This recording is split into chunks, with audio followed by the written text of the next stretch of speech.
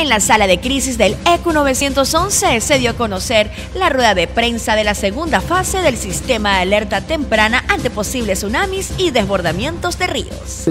Que cubrirá la implementación de 65 sirenas más en todo el perfil costanero, adquisición de nuevos equipos para las instituciones. Alerta, alerta se ha generado un tsunami. Las sirenas se encuentran interconectadas al ECO 911, entidad que al momento de escuchar las alarmas enviarán la ayuda necesaria al lugar de riesgo. Sino también estamos mostrando cómo se trabaja de forma articulada entre las entidades que componen el Sistema Nacional Descentralizado de Gestión de Riesgo. El mismo que favorecerá a las provincias del Guayas, El Oro y Galápagos, pertenecientes al perfil costanero.